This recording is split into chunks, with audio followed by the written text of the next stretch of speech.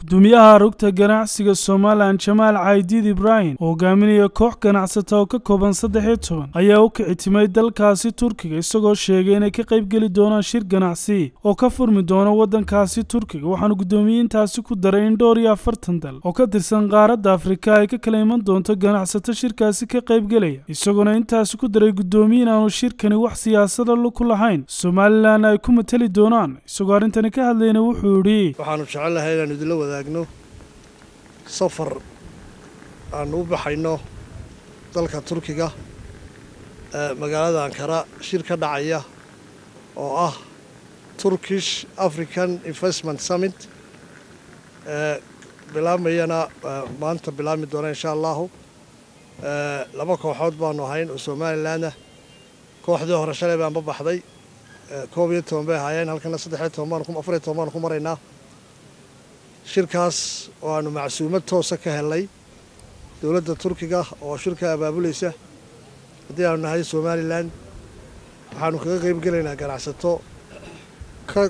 kooban dhammaan gobollada somalilan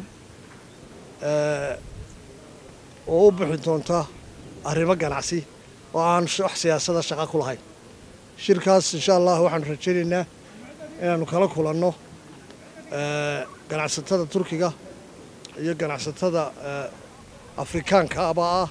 oo saddex iyo afartan dal oo afrikaani meesha ka soo qaybgelayaan waxaa la yidhahdaa b to b ama business to business. Waxaa kulmaya ganacsatada iyo ganacsatada wax soo saartay ee dalka turkiga taasoo dhammaan inteeda halkan maraysa iyo inta naga horraysayba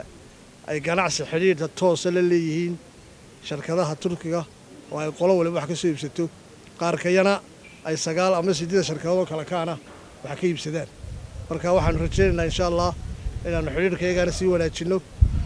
soo dhoweyno u sheegno dalka iyagu inuu leeyahay shuruucdii maalgashiga oo dhammaystiran nabadgelyadii oo dhammaystiran ganacsatadii oo ciddii doonta la shuraakooda ama wax ka iibsata oo dhammaystiran iyo akhlaaqiyaadkii baaca mushtarkaba oo aanu isleenahay dhammaan geeska afrika waa dheertiin akhlaaqiyaadka iyo aaminaadda ganacsiga oo aan u soo muxuu ahaa ay og yihiin dowladda turkiga inaanu nahay cidda ugu badan ee geeska afrika wax ka iibsata marka loo eego dekeda berbera alaabta turkiga laga soo iibsaday ka soo degta intaa kooban baanu idiin sheegaynaa annagoo somalilan baanu shirkaa ka qayb gelaynaa annagoo somalilan baana lagu casuumay. Sidaasaanu ku ambabaxaynaa insha allah. Adeega cusub ee shirkadda dahabshiil iyo ii dahab. Casriyeynta hanaanka cusub ee xawilaadda dahabshee haddaba macmil adeegan cusub ee casrigaahi waxa uu kuu sahlayaa in adigoo jooga gurigaaga amase goobtaada shaqo. Aad lacag ugu xawishid asxaabtaada iyo ehelkaaga jooga daafaha dunida